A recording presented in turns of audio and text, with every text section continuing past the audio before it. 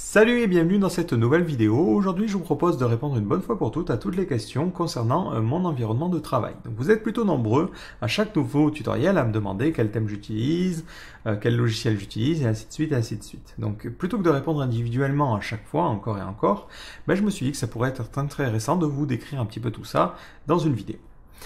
Alors, vous l'avez remarqué depuis un petit moment maintenant, euh, je n'utilise plus Windows pour enregistrer mes vidéos. Tout simplement, depuis 5-6 mois maintenant, voire peut-être un petit peu plus, euh, ben, j'ai décidé de passer sur Linux pour travailler. Alors c'est pas parce que je déteste Windows ou je déteste macOS, euh, tout simplement parce que euh, pour des besoins que je vais expliquer juste après, ben, Linux est un système d'exploitation qui me va beaucoup mieux pour travailler sur ben, les projets sur lesquels je suis. Ceci étant dit, ça m'arrive toujours d'utiliser Windows quand j'ai besoin par exemple de travailler sur des des designs qui sont faits avec Illustrator, je suis bloqué, je reste sur Windows. Ceci étant dit, de manière générale, je passe les trois quarts de mon temps sur maintenant Linux. Alors, première question, quelle distribution j'utilise? Alors, actuellement, celle que vous voyez à l'écran, c'est Antergos.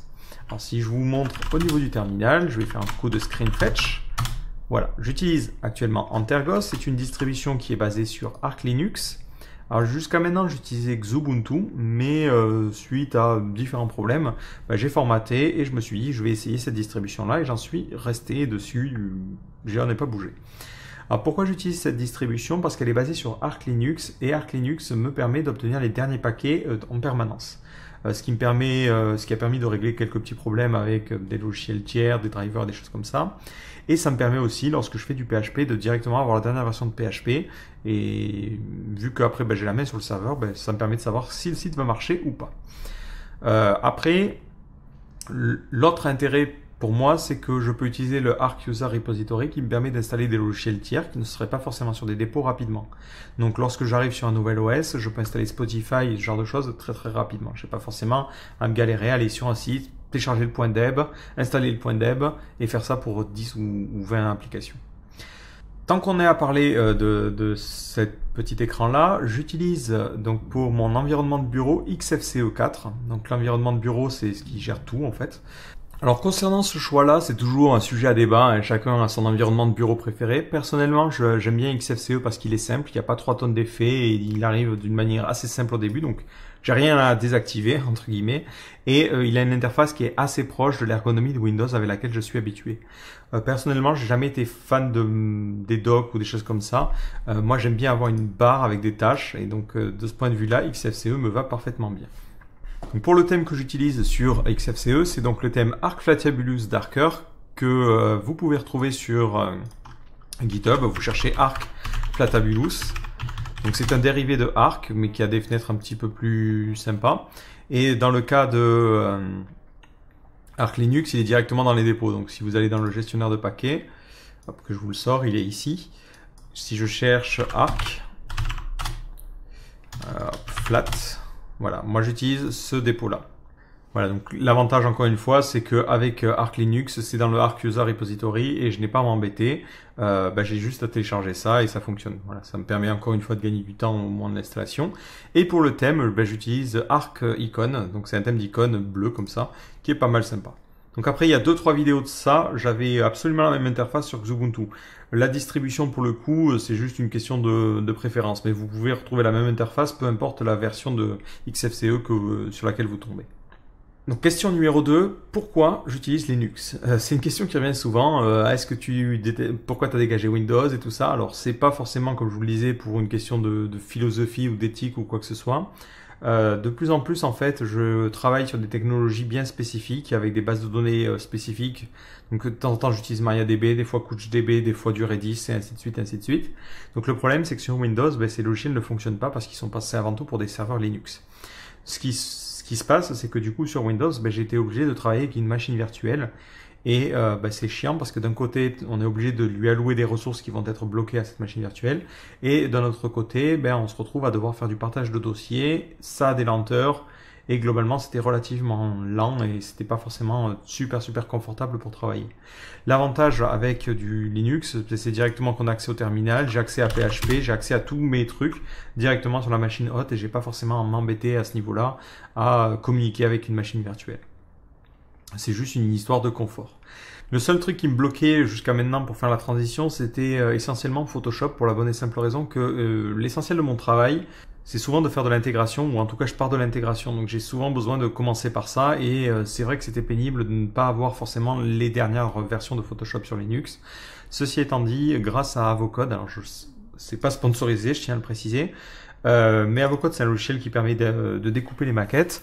Et du coup, ça me permet d'ouvrir les PSD directement depuis, euh, depuis Linux. Donc ça fonctionne comme ça. Hein. Bon, pour le coup, ça rame un petit peu, c'est pas bien grave. Mais ça me permet d'inspecter les PSD, de voir les types de polices qui sont utilisés et d'extraire en fait les différents calques beaucoup, beaucoup plus simplement. Donc l'avantage, c'est que ça me permet de travailler avec des PSD, même sur Linux. Et ça, c'est plutôt cool. Donc euh, depuis, ben, j'ai pas trop de problèmes. Les seules fois où je retourne sur Windows, c'est quand je reçois des maquettes qui sont sur Illustrator. Et encore, j'utilise même pas Illustrator, j'utilise Affinity Designer pour les, pour les découper. Mais dans ce cas-là, j'ai effectivement pas le choix de, de passer sur Windows.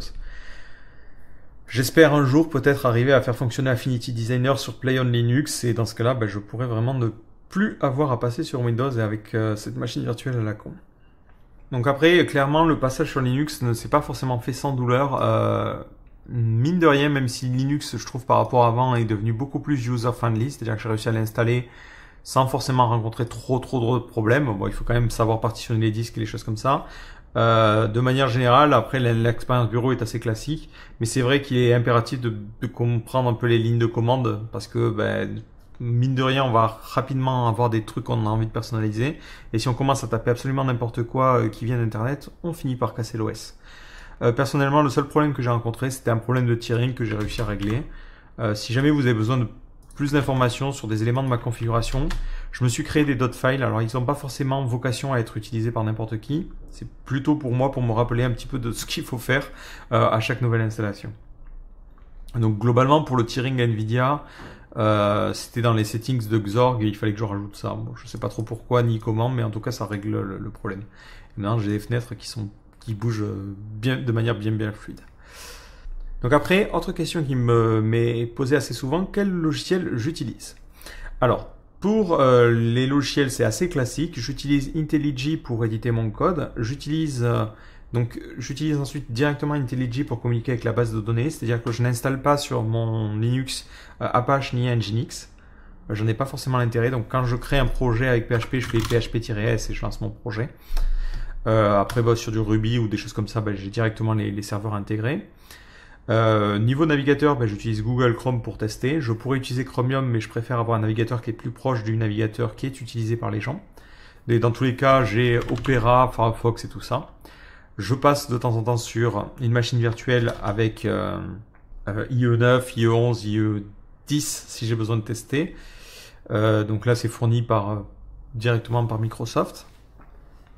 En fait, au niveau de l'environnement de développement, il n'y a rien de très très spécifique. Le seul truc qui est un petit peu particulier, voilà, c'est que j'ai viré Photoshop et je le remplace par Avocode. Euh, après, c'est les mêmes logiciels que vous allez retrouver de toute façon sur Mac ou sur Windows, il n'y a absolument aucune différence. Euh, pour ce qui est des tutoriels, j'utilise Open Broadcaster Studio. Alors attention, je vais le passer devant mon écran, ça va donner n'importe quoi. Euh, donc c'est ce logiciel-là qui permet normalement de faire du streaming vidéo. Donc les gens l'utilisent pour streamer des jeux et des choses comme ça. Euh, mais ce qu'il faut savoir, c'est qu'il peut enregistrer les choses. Donc moi, je l'utilise pour enregistrer la totalité de mon écran. Et on peut aussi l'utiliser pour enregistrer qu'une partie. Voilà. Et euh, pour, ce la webcam, je l'enregistre séparément, histoire de pouvoir ensuite faire mon montage. Et je l'enregistre en utilisant Cheese, que vous voyez ici. Bonjour. Euh, qui est un logiciel plutôt sommaire. Alors malheureusement, il ne me permet pas de régler les FPS, qui est un petit peu dommage. Mais du coup, à la fin, je me retrouve avec deux fichiers que je vais vous montrer ici. Voilà.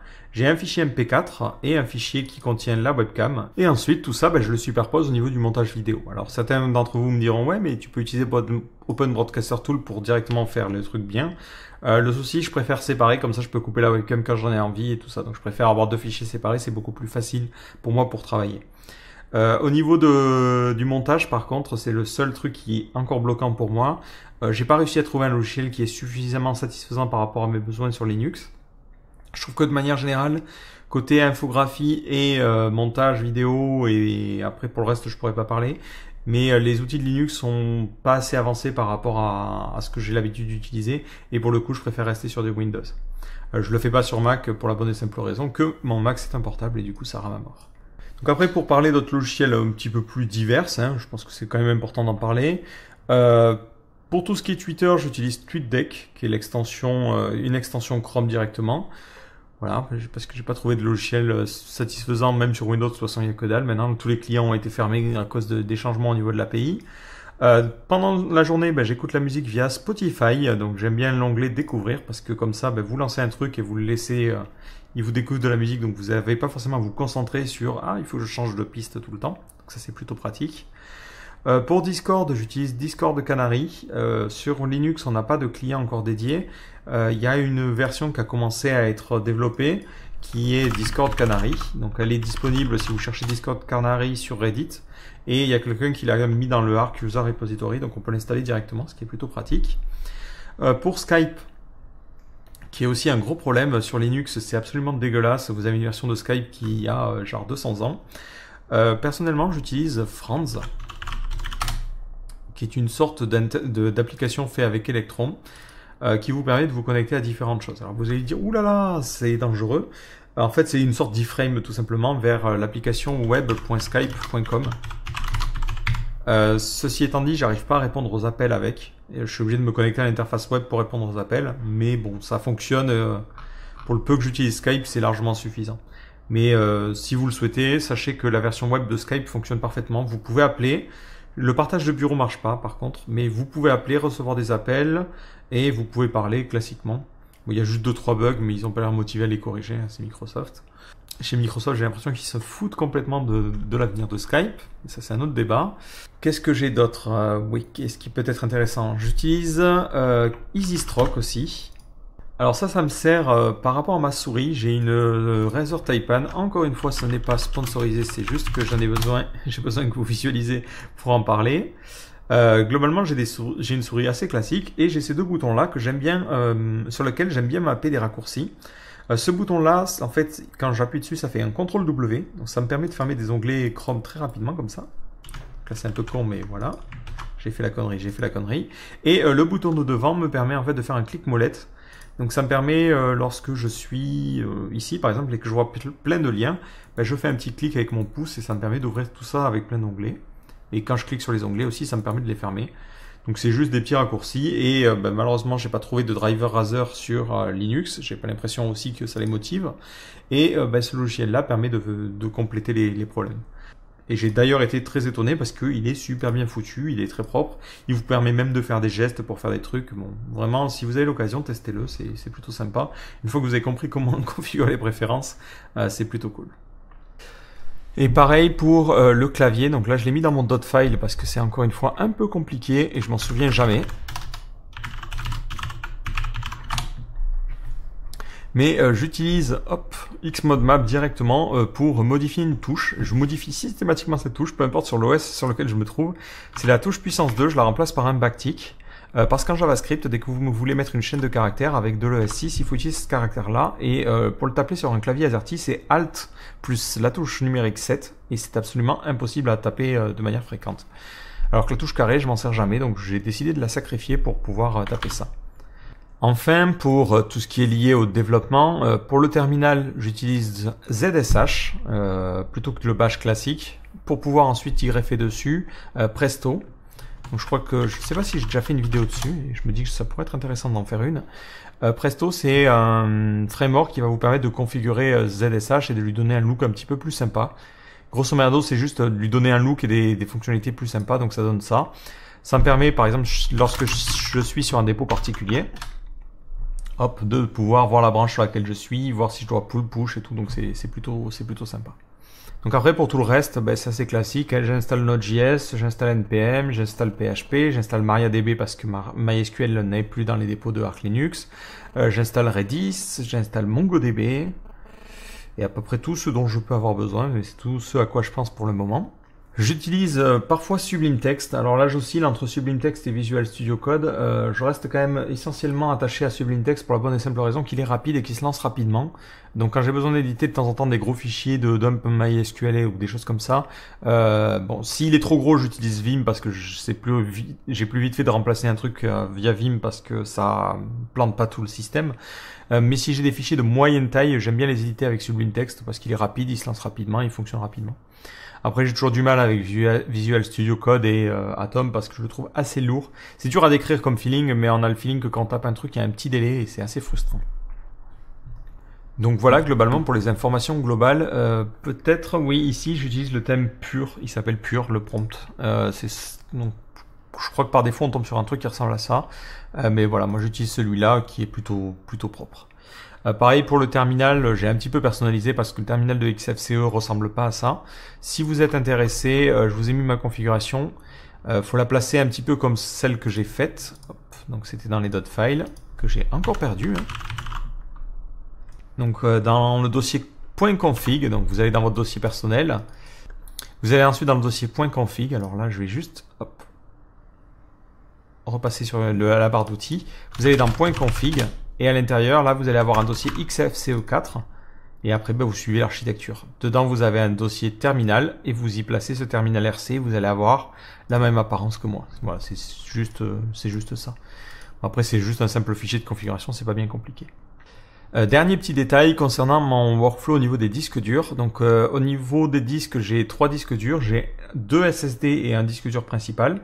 Euh, alors j'ai un premier SSD de 512 Go qui est un SSD dédié à Windows sur lequel j'installe Windows, des machines virtuelles et les jeux vidéo. J'ai ensuite un deuxième SSD de 215 Go qui est en fait extrait de mon ancienne tour qui lui donc est celui sur lequel je suis actuellement donc pour Linux.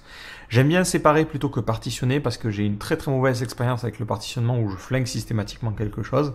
Là au moins j'ai deux disques durs séparés et euh, l'avantage c'est que bah, si je change de tour, je prends mon, SSD avec Linux, je le passe sur la nouvelle tour et tout fonctionne. Ça c'est l'avantage de Linux. et après bah, en fait j'ai mon gros disque dur dur donc c'est pas un SSD, qui fait 2 Tera, je crois, qui lui en fait me sert à stocker les sites et les projets sur lesquels je travaille, et qui est donc en NTFS. L'avantage, c'est que ce disque dur est en fait partagé entre Windows et Linux. Donc euh, si je travaille sur un site, je peux commencer à travailler sur un site sur Linux, et je peux continuer à travailler après dessus sur Windows. Et ce que j'ai fait, c'est que tout simplement, je l'ai monté dans un dossier... Euh, non, ça, il a encore l'ancienne apparence. Voilà. Euh, dans mon dossier MNT, donc j'ai ça où je vais monter ma Freebox, bon, ça c'est pour y déplacer des trucs. Et euh, bah, j'ai ce dossier data sur lequel en fait j'ai accès à mon disque dur euh, dur. Et après ce que j'ai fait c'est que dans mon dossier personnel je me suis créé un lien symbolique vers le dossier qui contient mes sites. Je ne peux pas ouvrir ici parce que ça vous montrerait les projets sur lesquels je travaille et j'ai pas le droit.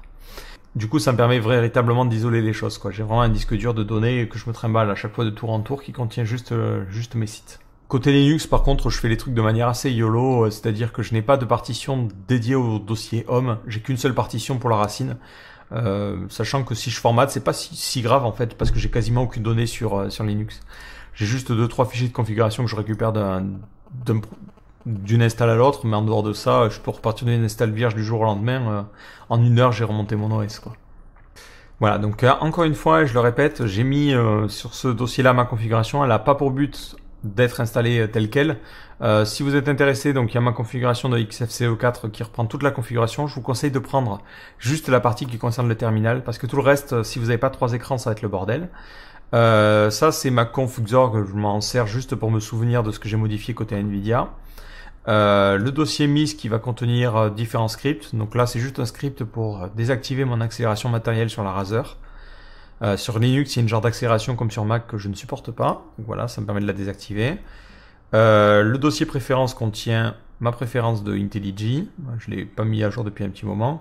Screenshots, c'est pour pouvoir me souvenir de comment faire les choses. Voilà, je m'en sers juste pour ça parce qu'à chaque fois j'oublie comment j'ai configuré le truc.